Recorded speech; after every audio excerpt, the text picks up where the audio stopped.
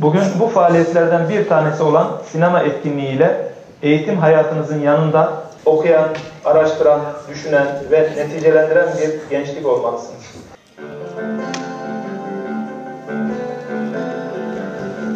Valla İyi geliyorum ben de. formayı da yeni yıkamıştım ya. İyi o zaman. Hüseyin 60 yıldan bu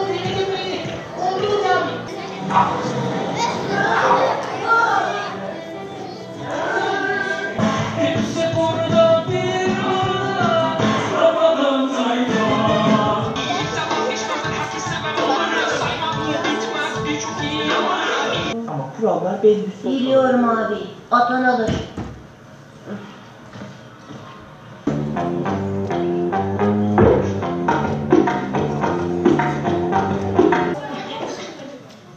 Akın sağında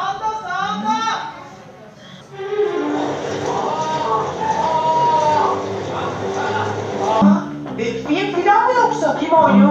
Ünlü oyuncu var mı? Hani yoksa biz oynarız yani. Orta, küçük köpekten mi korkuyorsun? Böyle boyun alttan mı orta? Kalıbına bakan da seni adam sanacak. Tamam oğlum tamam. Sevgili gençler, Karatay Belediyesi olarak bize düşen sorumluluk bilinciyle bugüne kadar olduğu gibi bundan sonra da eğitim hayatınızın tüm evrelerinde yanınızda olmaya devam edeceğiz. Bugün bu faaliyetlerden bir tanesi olan sinema etkinliğiyle eğitim hayatınızın yanında kültürel ve sanatsal faaliyetlerin içinde yer almanızı destekliyor, düşünce ve fikir hayatınızda da yeni ufuklar açacağına inanıyorum. Sizler bu ülkenin umudu, bu ülkenin geleceğisiniz. Bir dakikanızı bile heba etmeden vaktinizi iyi değerlendirmelisiniz. Kendinizi ilim ve irfanla, bilgi ve hikmetle donatarak geleceğe çok iyi hazırlamalısınız. Okuyan, araştıran, düşünen ve neticelendiren bir gençlik olmalısınız.